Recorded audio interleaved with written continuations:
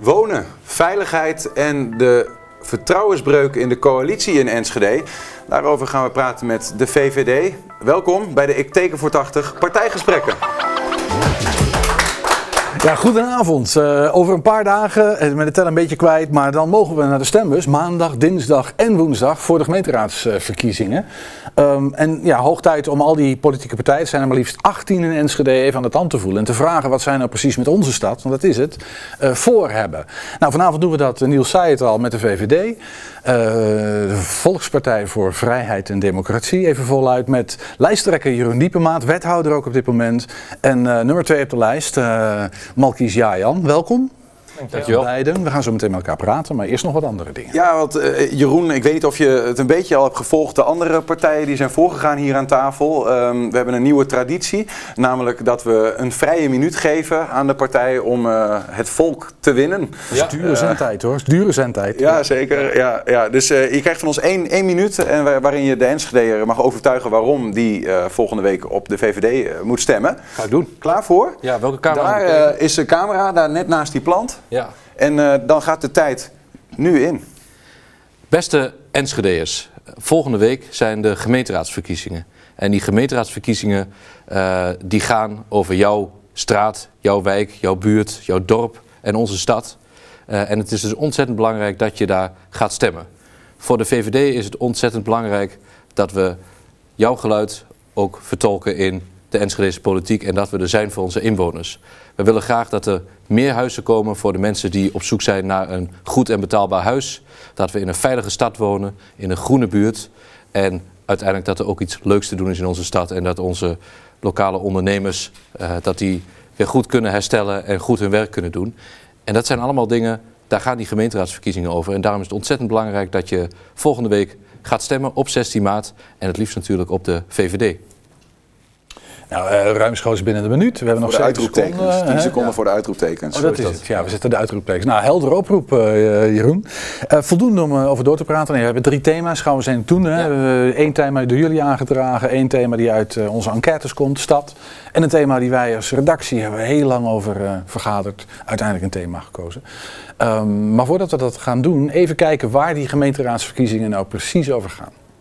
Elke vier jaar stemmen we voor de gemeenteraad. En vanaf maandag 14 tot en met woensdag 16 maart is het dan weer zover. Dan mogen alle Enschede's van 18 jaar en ouder naar de stembus om te kiezen voor hun favoriete partij of persoon. Daaruit worden de partijen en de 39 politici gekozen die na de verkiezingen in de gemeenteraad komen. Hoe meer stemmen, hoe meer van die zetels een partij krijgt. Minstens één keer in de maand vergadert de gemeenteraad over zaken die Enschede zelf kan beslissen. En dat is meer dan je denkt. De voorstellen daarvoor komen soms uit de gemeenteraad zelf, maar vaker van burgemeester en wethouders. Die burgemeester, Roelof Bleker in onze stad, staat boven de partijen en is onafhankelijk. De wethouders komen uit de partijen in de gemeenteraad. Meestal zijn het partijen die samen een meerderheid vormen. En die meerderheid, dat noemen we coalitie. In Enschede gaat het om minstens 20 zetels. Dan is de kans het grootst dat voorstellen worden aangenomen. De andere partijen noemen we de oppositie. Ja. Ik, ik, ga heel even uh, naar Malkies. Uh, en dat is een klein beetje omdat, denk ik, de Enschede'ers jou net wat minder kennen dan Jeroen, vermoed ik. Uh, dit is een beetje technische verhaal, hè, van hoe die verkiezingen lopen en coalitie en oppositie, dat verhaal. Maar jij bent raadslid ook al een tijd. Wat vind jij nou voor jezelf, je belangrijkste taak als raadslid? Waar gaat dat nou in de kern over? Nou, waar het over gaat is eigenlijk heel simpel dat je uh, doet wat de mensen van jou willen. Want je bent een volksvertegenwoordiger. En als mensen naar ons toe komen en die zeggen, nou een fietstunnel is onveilig, ik durf er niet doorheen te fietsen, kom met een oplossing. En dan ga je met die mensen in gesprek. Wil je daar camera's? Ja, dat willen we. En dan ga je daarvoor je best doen. En zo proberen we het eigenlijk per onderwerp, om gewoon te kijken uh, wat is het probleem wat mensen hebben en wat staat voor de beste oplossing. Ja, Daar snap gaat ik. Het over. En maar ben je dan vertegenwoordiger voor alle Enschede'ers of, of toch ook voor, uh, nou, je, je zit bij de VVD, dat is een beginselpartij, hè? jullie geloven ergens in of, of gaan ergens vanuit. Ehm, de mensen die dat beginsel delen, zeg maar. Heel veel meningen, er zijn heel veel verschillen. Hè? Ik bedoel, inwoners... Ja, wij zijn er voor alle inwoners. Om een ander voorbeeld te noemen, er was een heel uh, groot probleem nog steeds met seksuele intimidatie in de stad. En dat hebben vrouwen van alle partijen, van alle afkomsten, dat doet alle- dat er niet meer toe. die hebben er allemaal last van. Dan ga ik niet zeggen, ja, in die straat worden meer VVD's lastiggevallen. Dus daar Die gaan we maken we veilig. Nee, precies. Ja, dat zou heel gek zijn. Helder. Er zijn eh, wel een aantal dingen waar jullie... Goed antwoord trouwens, even. Uitstekend, Ja? ja. ja. Ik had het niet anders Ja, niet beter kunnen worden. Sorry, Erin. Het zou wat zijn als Jeroen nu zegt, nee, ik ben het er niet Ik was even benieuwd. Ja. Echt, ja, je weet Nee, maar goed, we, we hebben een aantal thema's waar jullie eh, als VVD natuurlijk wel eh, echt een bepaald standpunt ook innemen als, eh, als partij en een bepaalde richting op willen. Daar gaan we het over hebben. Maar ehm, die drie gaan we wat dieper op in. Het is ook goed om te weten wat jullie van allerlei andere uitdagingen in de stad vinden. Nou, afgelopen tijd hebben we alle lijsttrekkers in Enschede onderworpen aan een vragenvuur. En we zullen eens kijken hoe dat met de lijsttrekker van de VVD ging. Nou, welkom Jeroen. Dankjewel. Eh, je zit hier als lijsttrekker van de VVD. Ja, en, eh, je hebt er nog een hobby bij als wethouder eh, volgens mij. Dus Die vult de tijd vrij goed, dat klopt. Ja. we gaan drie minuten vragen stellen. Het is ja of nee, of een twee-keuzevraag. Je mag één keer passen. Ja. En daar komen we na de tijd komen we daar dan nog even op terug. Ben jij er klaar voor? Ik ben er helemaal klaar voor. Ja. De afgelopen vier jaar waren succesvol voor de VVD in Enschede. Ja. We willen ook nog wel vier jaar door met dezezelfde coalitie. Ja. Achteraf gezien hadden we wel liever met het CDA in de coalitie gezeten. Eh, nee. Het niveau van debatteren in de gemeenteraad is te laag. Ja. Alle raadsleden stellen het belang van Enschede en de Enschedeërs voorop. Ja, dat denk ik wel. Ik kan met alle raadsleden goed door één deur. Ja. Je moet samenwerken met een partij. Hè? Je moet dan kiezen tussen twee partijen. Ja. Wordt het dan SP of wordt het Enschede anders? Eh, SP. Opvallend. Ja. Want SP en? VVD is toch volgens mij, dacht ik, nou, die, eh, dat kan niet samen bijna. Nou, ik, eh, weet je, ik denk dat je uiteindelijk met iedereen samen kunt werken als je bereid bent om af en toe een beetje water bij de wijn te doen. En van de SP weet ik in ieder geval in de kern wel ongeveer waar ze voor staan. En dat vind ik bij Enschede anders soms lastiger in te schatten, als ik heel eerlijk ben. Maar ik moest, moest iets kiezen, dus dat probeer ik te doen. Je mag nog een keer kiezen, eh, Ja. PVV of eh, Forum voor Democratie. Eh, pas. Mijn partij haalt meer dan vijf zetels bij de verkiezingen. Ja. En ik ga ook nog vier jaar door als wethouder. Ja. Het is belangrijk dat Enschede zo snel mogelijk groeit naar 170.000 inwoners. Ja. De komst van nieuwe hoogopgeleide inwoners uit de Randstad is goed voor de stad, ook voor het armere deel van de bevolking. Ja. De menselijke maat is terug in de WMO, in de bijstand en in het armoedebeleid. Ja. Er moet meer gevlogen worden op Twente Airport. Ja. En dan denk ik vooral ook dat het moet, mogen dat ook eh, eh, kerosinevliegtuigen zijn wat jou betreft? Ehm, nou, weet je, eh, we moeten niet direct naar de hele ouderwetse luchtvaart kijken. Want we hebben nu juist dat er een nieuw contract is gesloten met de NLR, die daar juist interessante nieuwe dingen gaan testen. Maar het gaat niet in één keer van, van oud naar nieuw. Dus daar zit een geleidelijke overgang. Fietsstad van Nederland of dronehoofdstad van Europa? Dronehoofdstad van Europa. Enschede kan prima zonder recreatiezwembad. Nee. Dat er nog geen groen licht is voor de moskee op het Spaans land is de grootste fout van deze gemeenteraad. Nee. Enschede is een onveilige stad. Eh, nee, maar daar moeten we wel aan werken. Ja, ik mocht, dat mag ik niet zeggen, maar dat is wel zo. Er moet meer cameratoezicht komen in Enschede. Ja. De privacy van voorbijgangers is daarbij van ondergeschikt belang. Nee. De energietransitie is, de belang- is het belangrijkste thema van de komende vier jaar. Ja. Het is een schande dat Enschede nog geen windmolen heeft. Nee. Maar mag er wel komen wat jou betreft. Nou, eh, weet je, iets genuanceerder antwoord. Je moet een goede mix hebben om uiteindelijk naar duurzame energie te gaan. En een windmolen is een middel, eh, maar daar zit een hele discussie achter. Enschede is de belangrijkste stad van Twente. Ja. De rest van Twente moet zich dan ook wat meer aanpassen aan Enschede. Nee. En we moeten ons meer op Duitsland gaan richten dan op eh, de Randstad. Ja. Ja, dat was een licht glimlachje na afloop. Tevreden, Jeroen? Ja, nou, weet je, het is, al, het is ook wel een, eh, grappig format, omdat je wordt gedwongen om ja of nee te zeggen. Ja, het is lekker ongenuanceerd. Ja, en dat, eh, dat helpt af en toe ook wel om het even op scherp te stellen. En als ik nu weer dat zie, dan denk ik, ja, bijvoorbeeld dat Duitsland of Randstad. Natuurlijk is het niet zo dat we moeten stoppen met Den Haag of zo. Dat kan ook helemaal niet. Alleen voor, ons stad, voor onze stad is het wel heel logisch dat je ook wat meer naar Duitsland gaat kijken. Eh, want daar kunnen we gewoon nog heel veel extra uithalen. Nou, maar goed, daar kunnen we misschien nu eh, we het over hebben. Nee, Maar, dat, eh, eh, dat, dat hebben we op dit moment al. Nou ja, wat- Ja. nee, jij Ja, wil- sorry, nee, maar wa- wa- wat me ook opviel, eh, om een bruggetje te maken even. energietransitie, het belangrijkste thema in de komende vier jaar. Dat beaamde je. ja. Eh, wij hebben jullie gevraagd en alle partijen gevraagd om een thema hier eh, Ja. mee te nemen en naar de tafel. En jullie hebben gekozen voor het thema wonen. Ja. ja, ik denk dat die dingen ook eh, heel erg door elkaar heen lopen. Want je ziet, nou ja, volgens mij heeft iedereen nu wel door dat we echt iets moeten met die energietransitie. Als je kijkt hoe snel eh, de gasprijs de lucht inschiet. En dat is vreselijk daarom nog niet zomaar voorbij. Want die zal echt niet met een paar jaar zomaar weer op het oude niveau zijn. Eh, dus het is gewoon ontzettend van belang dat we daar slimme en werkende oplossingen voor verzinnen. Eh, want er zijn ontzettend veel Enschede'ers die op dit moment gewoon in, in de penarie zitten met hun energierekening. En dat wordt niet minder.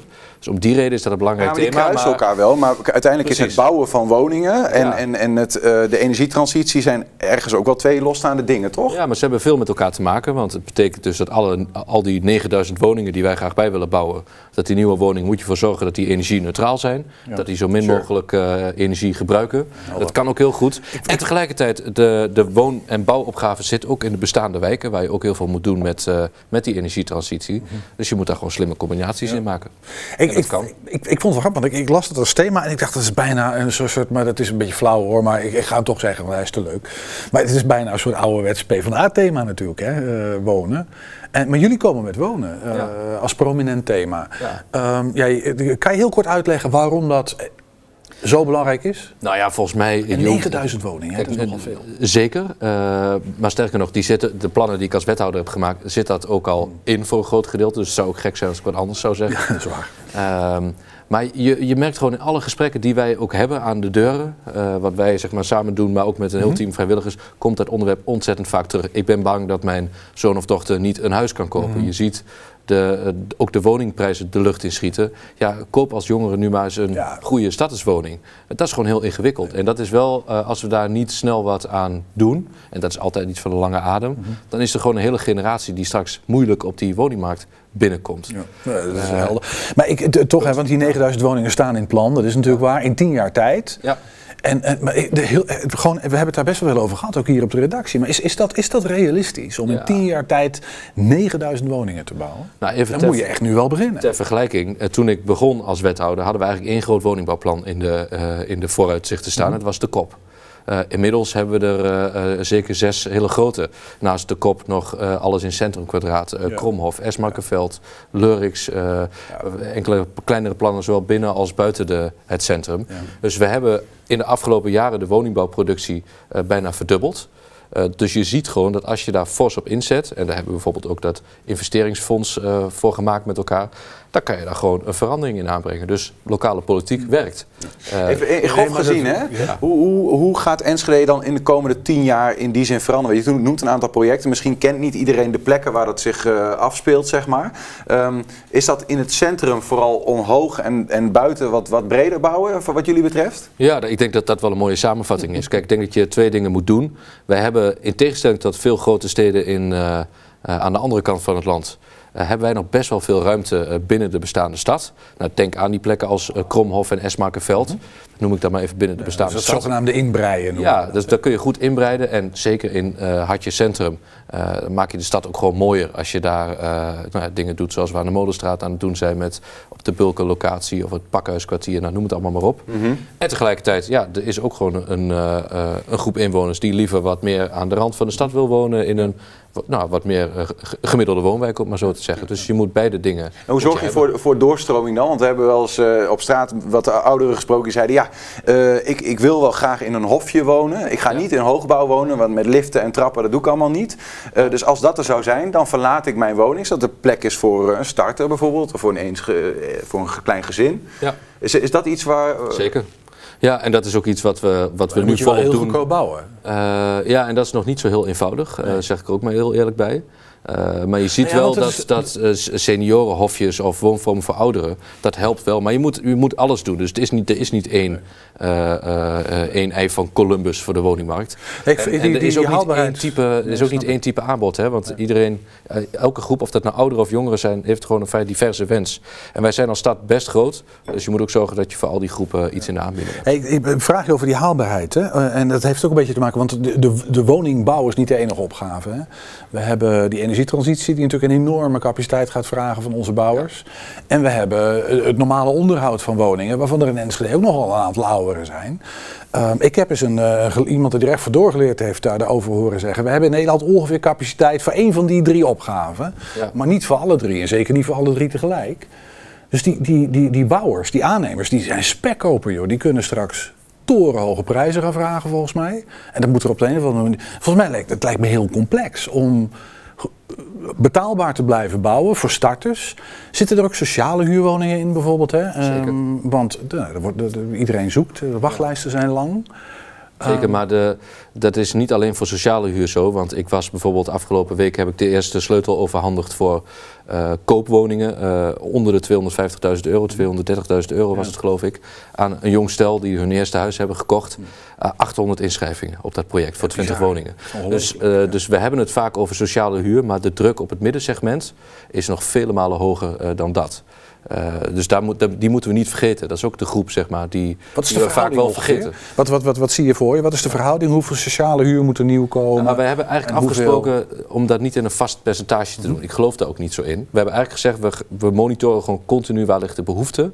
En bijvoorbeeld voor de sociale huur hebben we afgesproken, je moet gemiddeld genomen binnen een jaar gewoon een sociale huurwoning kunnen vinden. In Enschede zitten we op rond de acht maanden. Dus dat is, als je dat vergelijkt met alle andere grote steden, echt by far het beste van het hele land.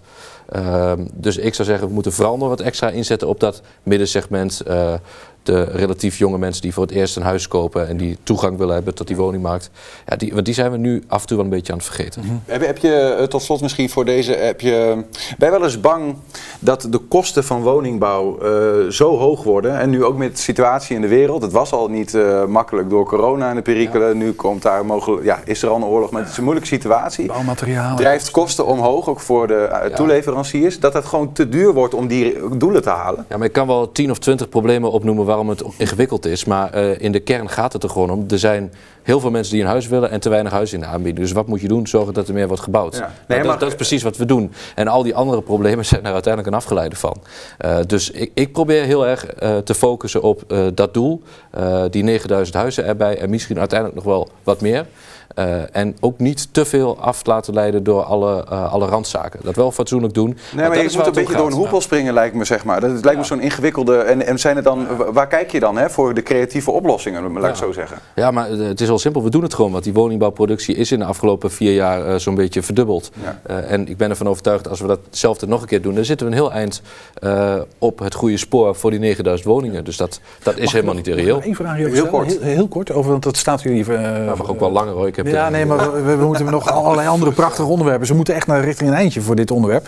Maar er stond in jullie verkiezingsprogramma dat het vooral voor de Enschede'ers is. Ja. Die krijgen voorrang. Gaat dat over goedkope woningen of gaat het over sociale huur? En waar laten we dan die 170, hè, die, die, die groei van de stad, waar moeten die mensen Nou, dat gaat wat zijn ook breed. Kijk, wij willen, ehm, eh, wij zijn er als stad ook voor onze eigen inwoners Mhm. in eerste instantie. Als die geen huis kunnen vinden, doen we echt iets eh, niet goed. En dat gaat echt niet alleen over sociaal en dat gaat ook niet alleen over villa's. Maar dat Hele gaat over de volle breedte. En ik nogmaals, met name dat middensegment, eh, dat is denk ik hetgene wat de druk op dit moment het hoogste is. is dat zie ik ook in mijn werk. Eh, dus die Enschede's, die willen we gewoon een goed huis kunnen bieden. En daarnaast moeten we ook mensen van buiten de stad aantrekken. Want we hebben hier ontzettend veel werk en heel veel mensen nodig die die banen ook komen vervullen. En die onze stad mooier komen maken. Maar zeker die Enschede's moeten een goed huis kunnen vinden. Helder. We dat dan gaan selecteren, dat zoeken we dan later wel uit, denk ik. Op die koopmarkt. Ja. We gaan doorpraten over een eh, thema dat eh, u, jij, vooral heel belangrijk vindt. Ehm, hij staat in de top 4 van issues waar eh, Enschede nou ja, vindt dat aan de slag meegegaan moet worden te hebben zou zijn. De aankomende vier jaar. Ehm, dat is veiligheid en de aanpak van criminaliteit. Dat blijkt uit onze enquête. Die hebben zo'n 750 Enschede'ers ingevuld inmiddels. Malkies, ehm, ik, ik, ik heb je wel eens horen spreken ook over dit thema. Ook als het gaat om eh, op straten in de binnenstad van vrouwen. Hoe, hoe tevreden zijn jullie eigenlijk als coalitiepartij met de ontwikkelingen op het vlak van veiligheid in de afgelopen vier jaar? Nou, we zijn eh, niet tevreden met het veiligheidsgevoel wat mensen hebben. Want dat is dat het gewoon onveilig is. Als je s'avonds over straat loopt en je durft dat niet te doen, dan gaat dat niet goed. Tegelijkertijd, waar ik wel tevreden mee ben, is dat we wel dingen doen om dat te verbeteren. Je noemde net seksuele intimidatie. Daar hebben we heel veel op gedaan. We zijn de eerste stad waar het echt verboden is geworden. Eh, we komen nu met de, De tweede toch, geloof ik. Haarlem of Alkmaar, wat was het?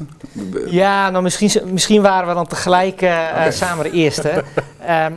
En we hebben, we hebben een meldpunt geopend. We hebben meer verlichting gezorgd bij straten, meer handhaving. En waar ik ook tevreden mee ben, is dat er was een initiatiefnemer van een petitie, uh, Mitte van der Houwen, die zei toen dit is een heel groot probleem.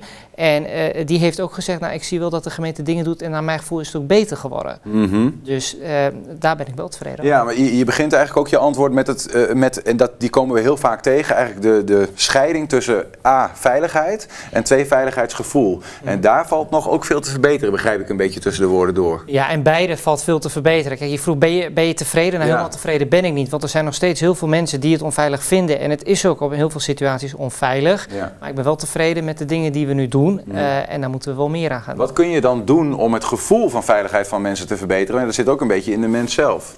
Nou ja, heel veel mensen geven aan. Ik vind het fijn, bijvoorbeeld, dat noemde ik in het begin, als ik door een tunnel fiets, dat daar een camera hangt. Daar voel ik me veiliger bij. Dus wat je kan doen, is zorgen voor meer cameratoezicht. Wat mensen ook veel zeggen, is: ik vind het fijn om blauw op straat te zien. Eh, Over die camera's, helpt die dan ook daadwerkelijk om criminaliteit terug te dringen? Of is het puur het middel om het gevoel beter te maken? Nou, dat helpt voor beide. En dat is denk ik met de meeste dingen. Als je het ergens veiliger maakt, dan wordt het gevoel wordt vaak ook beter. Dus dat, dat is denk ik vrij, eh, vrij logisch. Ja, oké. Oh, dat, dat roept verschillende vragen bij me op, maar misschien eventjes naar, de, naar, die- naar dat cameratoezicht. Ehm ja, er zijn mensen die roepen, ik vind het fijn dat de camera's hangen. Er zijn ook mensen die roepen van, alsjeblieft niet, want dan heb ik het gevoel dat constant in de gaten gehouden wordt. Vind ik helemaal niet prettig. Eh, jij zei van, ja, meer camera's, maar mag niet ten koste gaan van privacy. Maar dan denk ik, ja, camera's gaan toch altijd ten koste van privacy? Ik, ik, ik, word in de gaten, ik fiets door een tunnel en er staan camera's. Ja, maar goed, je kan je ook afvragen als je die drie meter dat je onder de tunnel fietst, als je daar niet gefilmd eh, wil worden, ja, wat ben je dan aan het doen dat je te verbergen hebt? Ik bedoel, het is niet zo dat je daar. eh, Ik wil gewoon niet altijd in de gaten gehouden worden. Daar heb ik helemaal geen behoefte aan. Ik heb niks te verbergen, maar ja. dat kan toch ook een gevoel geven van, joh, maar overdrijven we nou niet een klein beetje eh, en, en slaan we niet een beetje door op incidenten die plaatsvinden? Want die gebeuren wel. Hè? De- we horen ook veel in de Westerlebrink, ben ik geweest. Tunneltjes onder andere. Inwoners zeggen heel veel, nee, er, ge- er gebeuren echt wel dingen. ja. Eh, maar ik, het is niet zo dat ik me echt onveilig voel. En het zijn incidenten. En het, maar het gevoel is er wel. Nou, weet je, het is heel erg gevoel. Omdat er eh, af en toe dingen misgaan. Zoals ze overal wel eens misgaan. Kun je ook nooit helemaal uitbannen natuurlijk.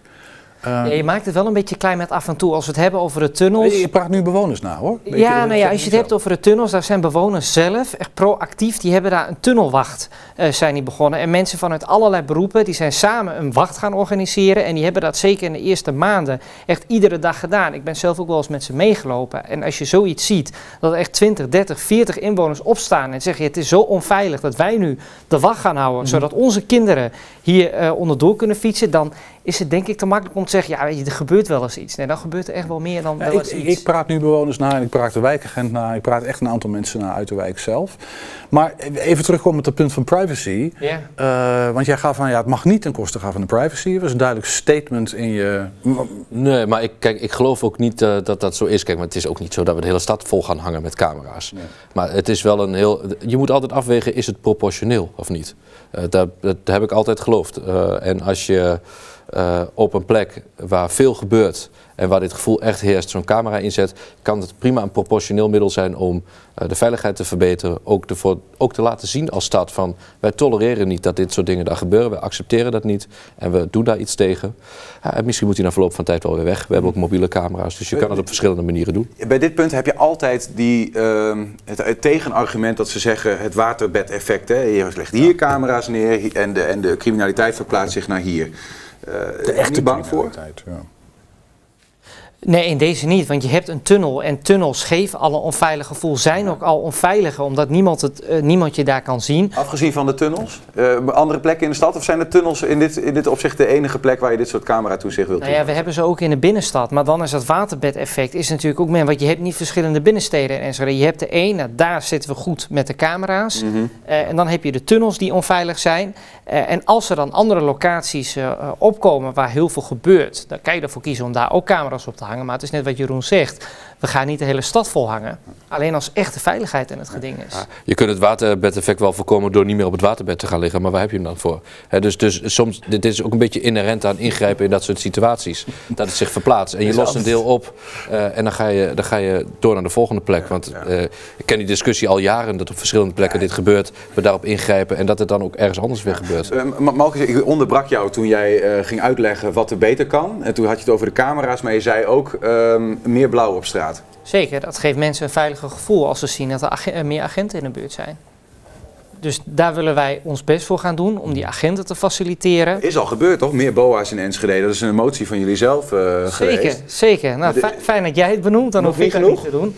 Nee, dat is, dat is nog niet genoeg. Want we horen nog veel te vaak uh, dat mensen zeggen... nou, we hebben gebeld en de politie wil wel, maar die heeft geen capaciteit. Of mm -hmm. dat de politie zelf aangeeft van... ja, we hebben niet genoeg capaciteit om op al die incidenten in nee. te gaan. Maar dat is ook een landelijk probleem, hè? Die, die politiedienst is natuurlijk... Uh, ja, daar ga je als gemeente maar heel beperkt over. Zeker, maar binnen wat we kunnen doen... willen we uh, doen wat we kunnen om hen te faciliteren. Daarnaast willen we dus gaan investeren in meer BOA's. En als dat allemaal nog niet genoeg is, dan willen we ook kijken, kunnen wij dan particuliere beveiliging inzetten? Mm -hmm. Want we, dat hebben we ook al van een aantal ondernemers gehoord. Die zeggen, ja, het is hier zo onveilig in de straat. Uh, Malkies, moeten wij nu zelf beveiligers gaan, uh, gaan inhuren? Waarop ik zeg, nee, dat, dat is niet jullie taak. Wij, publieke taak, ja. wij moeten daar als gemeente voor zorgen. Waar moet het geld vandaan komen, wat jullie betreft?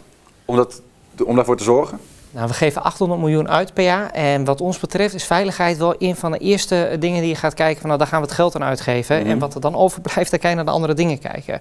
Maar veiligheid zit echt bij die topprioriteiten. Oké. Okay. Maar ook niet uit de woningen die we willen bouwen. Hè? Ik bedoel, er zijn keuzes. Ja, nou dat... op zich is dat toch een legitieme vraag dan van Niels. Waar, waar gaat het geld vandaan komen dan?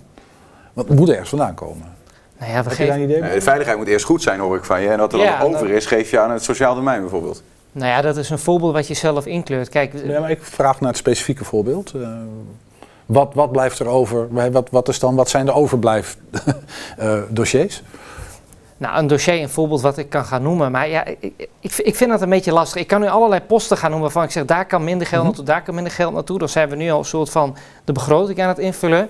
Eh, wat ik gewoon vind is, er komt, we geven 800 miljoen uit. Nou, dat is niet nodig voor veiligheid, die hele 800 miljoen. Dus we gaan eerst eh, voor woningen en veiligheid kijken wat we daaraan uit kunnen geven. En dan, wat er dan overblijft, kunnen we besteden aan andere posten. Dat zijn onze prioriteiten. We, we moeten dit punt bijna afsluiten. Je, wil nog een... uh, s- Nou ja, ik, ik, ik wou zeggen, uiteindelijk die begroting van die 800 miljoen is precies wat, wat Malky zegt. Eh, daar zit altijd vrije ruimte in waar je de prioriteiten kan verleggen. En het mooie is, dat kan nou juist na die verkiezingen heb je het ultieme moment om dat weer even eh, op te schudden en de prioriteiten te verleggen. Dat, hebben we vier jaar geleden ook gedaan. kwestie van onderhandelen. Ja, zeker. straks In de Dat is nou precies wat wij hopen te gaan doen met Ja. de steun van al die Enschede'ers. Ja. Het is tijd om naar het eh, laatste thema te gaan. Dat is niet eh, de minste. Ehm, we kunnen daar ook niet, niet helemaal omheen. Het, wat ons betreft, de vertrouwensbreuk binnen de coalitie. Jullie coalitiegenoten PvdA, ChristenUnie en D66... die spraken eigenlijk na het moskeebesluit eh, uit... dat ze geen vertrouwen meer hebben in eh, de VVD als coalitiepartner. Dat kwam rauw op jullie dak, toch? Zeker, ja. Is dat al, eh, is dat al een beetje bezonken? Nou, weet je, kijk, we hebben, ehm, ik, ik kan er heel veel van zeggen. In ieder geval heeft het mij behoorlijk verbaasd op dat moment. Want één ding, en daar ging het in een aantal van de uh, lijsttrekkergesprekken ook wel over. We hebben natuurlijk in de afgelopen vier jaar een coalitie gehad met vijf partijen. Uh, met vijf partijen die ook totaal anders in sommige onderwerpen staan. Ja. En dat is best ingewikkeld. Dus je moet dan uh, compromissen met elkaar sluiten. Sommige dingen kom je gewoon niet uit. Uh, en ik denk dat het had op tegen andere onderwerpen ook kunnen gebeuren wat er uiteindelijk is gebeurd. Het gebeurde hier. Ik heb soms ook wel het gevoel, nou het was niet al te lang voor de verkiezingen. Dan loopt de druk nog wat hoger op. Het was gedoemd te mislukken. Nee, dat zeg ik niet. Maar ik zeg wel, eh, als je uiteindelijk niet meer eh, eh, een compromis wil sluiten... of niet meer van elkaar wil accepteren dat je er anders in staat... op een gegeven moment gebeurt dit. En het is niet zo heel lang voor de verkiezingen. Dus ik vond het ook wel, denk ja, was dat nou het moment? Had, je had het twee jaar geleden ook bij een ander punt kunnen doen. Het had ook een andere kant op kunnen gaan. Maar niemand zit hier Maar op de... het dan, maar een- nie- was, maar het dan niemand een, zit- was het dan een symbool? Was het ik vond, ja, ik vond het heel symbolisch. Ja, wat, Maar dat is wel een probleem natuurlijk. Want als dat een symbool is en, en, en straks moet je verder... en stel even de verkiezingsuitslag wordt hetzelfde Ja. als vier jaar geleden... ja, dan kun je toch Nou, niet zo makkelijk over een symbool heen stappen? maar- Nee, kijk, maar het is, eh, het is ook een beetje dat punt van eh, symbool. Maar dit zijn je partners, hè? Dit zijn je, je partners in crime. Ja. En die flikken je dan een kunstje. Even plat gezegd. Nee, maar kijk, dat, volgens mij Dat is het is wel meer wat, toch? Er moet natuurlijk wel, eh, daar moet wel over gesproken worden. Aan de andere kant denk ik ook, eh, niemand in Enschede zit op dit gedoe te wachten. Want dit is allemaal gedoe in de bubbel van het stadhuis. Eh, eh, voor ons allemaal hartstikke belangrijk. Maar voor die Enschedeer die een huis zoekt of in de tunnelwacht meeloopt, die heeft hier helemaal niks aan. Eh, dus wat wij uiteindelijk met elkaar moeten doen als die uitslag er straks is, is gewoon om tafel gaan zitten, het over onze programma's hebben eh, en met elkaar besluiten waar, waar leggen we de prioriteiten voor onze stad neer. Eh, en, na- en ik hoop vooral dat de VVD ruime steun krijgt en dan, dan kennen jullie inmiddels onze prioriteiten. Dan gaan we onder andere met die woningen aan de slag en met die veilige stad. Ja. En ik heb ook alle vertrouwen erin dat we na de verkiezingen dat gesprek prima weer kunnen voeren met elkaar. Ik, ik kijk ook even naar jou, eh Malkies, want jij hebt daar natuurlijk als, als raadslid eh, middenin gezeten. Is er dan iets eh, van, en, en ik de- bedoel, het is een oprechte vraag. Ja, ja al, dat zijn al mijn vragen natuurlijk, maar ik zeg dit er nu even bij. Eh, Steek je dan ook een beetje je hand in eigen boezem en kijken van, joh, waar, wat is hier misgegaan? Want eh, het, het- we vertrouwen jullie niet meer. Dat is heftig, hè? Dat is best een uitspraak. Ik zou dat echt ingewikkeld vinden van partners. En denken van, potverdorie. Eh, en als ik dan mijn hand in eigen boezem steek, wat vind ik daar dan, weet je wel? En, en ontstaat er dan enig idee van, nou, misschien is, is, is het daar wel misgegaan. En zouden we dat Ja, de volgende keer wat anders Het, moeten doen? het gevoel wat ik eigenlijk had is, ik schaam me kapot voor die partijen. Er zijn zoveel problemen in de stad. Eh, er zijn zoveel Maar problemen dan leg je het heel erg bij hen in, neer. in het hè? land. Nee, maar er zijn nu zelfs zoveel problemen in de wereld. En mensen die willen dat de politiek de problemen die ze hebben gaat oplossen. En ze zijn in Den Haag negen maanden bezig geweest om tot de coalitie te komen. En iedereen die ik spreek, en dat zal ongetwijfeld ook de mensen die jij in de wijk spreekt, zelf te zeggen van waar zijn ze dan mee bezig. Mhm. En dan zien ze hier in Enschede, daar heb je als coalitie bijna vier jaar lang met, met elkaar een coalitie gevormd, waarbij het echt niet altijd een feest was. En dan ga je een maand voor de verkiezingen ja, het vertrouwen opzeggen, maar dan niet in een wethouder vanwege een verkeerd besluit of wat dan ook, maar in, in de fracties. En, en daar schaam ik mij dan voor. Dat mensen denken, ja, wat is dat dan voor... eh, eh, voor Maar er is, dus, er is dus niet eh, dat bij jou iets oproept van... Goh, maar misschien moet ik, moet ik dan ook even kijken... Wat, wat, wat is het? In welke rol speel ik hier dan in? Of Nou ja. welke rol hebben wij hierin gespeeld? Wij, wij denken dan na. Er was een jaar geleden een stemming over een moskee. En toen was onze fractie tegen. En er was nu opnieuw een stemming. En we waren weer tegen. En die keer daarvoor hadden ze het vertrouwen niet opgezegd. En nu wel. Dus wij hebben hetzelfde gehandeld als, als een jaar geleden. Voorspelbaar. Ja. Ja, dus. Maar goed, de, de, de, de breuk, want dat gaf jij ook al aan. En de, de, de, de- dit, dit, dit speelde niet natuurlijk vlak voor de verkiezingen. Er is twee, dat is ruim twee jaar geleden. is natuurlijk een moment geweest dat de coalitie feitelijk al de facto...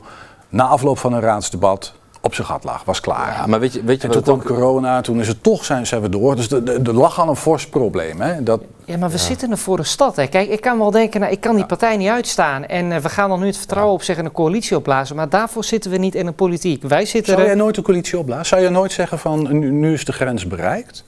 Maar, maar dat is niet wat ze hebben gedaan. Dat ze de hele eh, de stekker uit de coalitie hebben getrokken. Want ze gaan nog steeds door in de coalitie. Kijk, Ja, als ze zeggen hadden... het vertrouwen op. Dat is even een beetje een technisch verhaal. Hè? Maar ze zeggen eigenlijk, we willen met jullie niet meer samen. Dat is wat ze zeggen. We, we, we kunnen niet meer overleggen. Hebben we vier jaar geprobeerd. Dit is onze slotconclusie. Eigenlijk twee jaar geleden al. Maar, maar, maar nu weet je, het, spreken we dat uit. Ernst, het normale model in de politiek is dat als je dat vindt en jij vindt dat je Nee, niet in de coalitie thuis hoort, dan eh, heb ik altijd geleerd, dan trek je jezelf terug, dan eh, roep je je wethouder terug eh, en dan stap je uit het, coalitie, uit Nee, het college en ik- de coalitie. ik- ik- dat is ook niet gebeurd, dus dit is een soort van, ja, we hebben heel veel dingen uitgevonden in Enschede, maar dit is een bestuurlijke noviteit die ook wel op dat lijstje mag. Ja. Die is nog nooit ergens voorgekomen. Dus het is een- innovatie. het is ook een hele gekke, nie- niemand heeft er iets aan. En ik weet ook zeker, straks praten we weer met elkaar en zullen we weer met elkaar door één deur moeten. In welke samenstelling of vorm dat dan ook is. En als je nou kijkt, we hadden het net even, vandaag is er een debat in de Tweede Kamer over omgangs, omgangsvormen. Eh, ik denk dat heel veel mensen af en toe met het schaamrood op de kaken naar de politiek kijken. Naar hoe we elkaar eh, bevechten en hoe we inderdaad, wat Malkies ook zegt, niet bezig zijn met die problemen. Eh, ik, het zou mij een lief ding waard zijn als wij in Enschede dat soort gedoe een beetje buiten de deur kunnen houden. Durf en je dan het wel ook met hebben. diezelfde partijen eh, straks weer in een coalitie te stappen als je eh, uiteindelijk weer kind van de rekening wordt voor niks, wat jullie betreft? Nou, kijk, weet je, je moet hier wel met elkaar over praten, want uiteindelijk gaat samenwerken gaat altijd over vertrouwen. Dus als er geen vertrouwen is, kun je niet samenwerken. Nee. Eh, dus dat zullen we ook straks weer moeten doen. Eh, maar één ding eh, tegelijk. Eerst hebben we verkiezingen volgende week. Eerst mogen mensen stemmen op de partij die hun voorkeur heeft. En daarna moeten wij daar wat goeds mee doen. Ja. Ja, en dan zien we wel wat de uitslag is. En dan moeten we op basis van die uitslag... moet je toch met elkaar om tafel. Dat is nou eenmaal ook het systeem wat we hebben. En dat is maar goed ook. Ik zie je al een beetje kijken naar het prognosebord. Even toch alvast die zetels indelend in je hoofd van hoe gaat dan die nieuwe coalitie eruit zien? ja, ik heb wel een, ik terug heb moet wel een plooien. idee, ja. Je hebt wel een idee? Ja. Nou, je mag het eh, ons eh, voor gaan zeggen wat je idee eh, is. Als je naar het bord toe wil lopen, krijg je een stift. En dan zijn we benieuwd eh, nou ja, hoe die zetels eh, v- wat de VVD betreft verdeeld gaan worden. Het is natuurlijk eh, koffiedik kijken. Ja. Eh, En benieuwd ook wat jouw idee van een nieuwe coalitie dan misschien wel zou zijn. Oh, ik denk al dat je daar niet zoveel over gaat zeggen, maar ga je gang. Denk je dat? Ik, Ja. Jij gaat aan deze kant staan, vind ik. Ja. En dan, ja, je, je mag de volgorde aanhouden. We even omdraaien, Jeroen? Vind je het handig? Want Ja, ik ben, ik vind het helemaal goed. ik Ja. ben een beetje bijziend en dan kan Ja. ik hier... eh, En ik ben rechts, dus dat op meerdere manieren. ja, Dus en, goh, gaan we het zo doen? Eh, nou, ik begin met burgerbelangen. De huidige grootste partij, die hebben de zeven. Stabiele partij. Ik denk dat die er gewoon weer eh, zeven halen. Oké. Eh, bij D66 voorspel ik zelf veel eh electoraat op de campus. Die gaan toch naar Volt, denk ik, ondanks wat er ja, gebeurt. partijverlies, of zetelverlies bij Volt. Ja, ik zeg drie. Ja. Bij onszelf, nou, ik heb er vertrouwen in dat dat goed gaat. Ik denk dat wij er ook zeven kunnen halen. En waar haal je dat vertrouwen vandaan? Echt, dat is een oprecht ook weer, hè? Weer zo'n oprechte vraag van mij. Nou ja, we hebben de afgelopen weken veel gesprekken aan de deur gevoerd met Ja. mensen. ja. Eh, dat geeft je een bepaald eh, gevoel. Mhm. Eh, de VVD staat er inmiddels al heel wat jaren redelijk stabiel voor, ook zowel landelijk, provinciaal Nee, als ook maar tot, op heden heeft dat vier zetels En opgeleverd. we hebben de En afgelopen keer hebben we die vijfde zetel misten we echt op een haar na, op volgens mij 100 stemmen. Dus voor mijn gevoel, die moet sowieso lukken. En, Ja, ja, en als ik er zelf niet in zou geloven, dan eh, zou ik hier ook niet moeten staan natuurlijk. Dus, eh, CDA. daar dacht ik eh, twee. Toch Ja, het Pieter Omtzigt effect. Ik gun het ze niet per se, maar dat, ik denk dat dat wel. Right. GroenLinks staat nu op vier. eh, drie. Die gaat eentje zakken. En dat, gaat denk, ik- dat is Partij voor de Dieren effect, vermoed Dat ik. denk ik wel. Ja, Ja, dat ja, dacht ik al. PvdA staat nu op vier. Eh, die houden we op vier. Oké, oh, netjes. SP, Eh, daar gok ik op twee. een klein zetelverliesje. Elf zetels over, Jeroen. Eh, ja, ik heb er van tevoren over nagedacht. Eh, Kijk. de PVV drie. Oh, die gaat er eentje winnen. Ja, dat denk ik wel. en, dat eh, komt door? eh, ja, weet ik niet. Op, De Forum komt erbij. eh, Ja. Ja, het is best wel versplinterd nu al. eh, maar ik denk toch dat ja, PVV is op zich wel een partij die er natuurlijk al een tijdje meedoet. Dus, eh, ChristenUnie. drie. Drie, eentje ik heb het gevoel dat eh, de ChristenUnie profiteert altijd van een iets lagere opkomst. Vorige keer was die heel hoog. Ik hoop het niet, maar ik vrees dat we dat niet weer gaan halen. Dus eh, misschien... eh, Ja, er zit iemand in dit, eh, op de tribune. Jurgen van. Hout zit hier op de tribune. ja, die te glundert. juichen, Ik zag het. Ja, ja, ja. Er zit zelfs de nummer vier er bijna nog rechts Nee, links volgens, mij, vol- vol- volgens mij is het eerste puntje alweer gescoord. Eh, Enschede anders. Ik denk het eh, net niet. Dus, Denk je net niet? Nul? Is, is dat een wishful thinking of is het, denk je? Ja, het is ook een beetje het is koffiedik kijken. DPE die- Ja, 1. die, blijft wel zitten. Ja, ja, ja, ja. Oké. En Volt 2. Ja. Verbindend Enschede, eh? Versteeg. Ik, in mijn beleving nog twee. Maar dan ga ik heel snel natellen. 10, we zo 17, even. 19, 22. Ja, want ik dacht, eh Forum haalt er eh, ook één. Ja, Forum en, de Nog eentje heb je er. en de Partij voor de Dieren. oké. En de, dus verbindend Enschede, Erwin Versteeg komt niet terug. Nee. Link gaat het niet halen. Nee. En lijst 12 en 16 even min. Nee. Klopt de, klopt de score? Heb je het, eh, heb je het nageteld? eh? Ja, ik heb het nageteld. We kunnen heel even nog de lijst in beeld brengen zoals eh Diepenmaat hem nu heeft inge- ingetekend. Want eh dat konden we niet helemaal goed zien. Jeroen telt zelf. Nou, die is beter Ja, dan de- jij, de- denk ik. helemaal prima. Kijk, klopt, Malky? Ja, Klopt. 39. Een drievoudige controle, dat lijkt me goed. Gaat dit Ehm, dan, eh, we gaan het zien. Kom, eh, kom gerust weer zitten, dan ga ik het, eh, het gesprek afsluiten. Want dit was het eh, partijgesprek met de VVD. Met aan tafel Jeroen Diepenmaat als lijsttrekker. En ook nummer twee uh, Malkis Jajan. Dank mannen en succes eh, met de verdere activiteiten nog op weg naar de verkiezingen. Dankjewel. Ehm, u ook dank voor het kijken. Morgenavond om 7 uur dan, eh, zijn we terug. Dan gaan we praten met D66. Volg ook onze andere activiteiten rondom de verkiezingen. kun je vinden op onze website 120.nl in het dossier Ik teken voor 80. Doe dat en heel graag tot de volgende keer.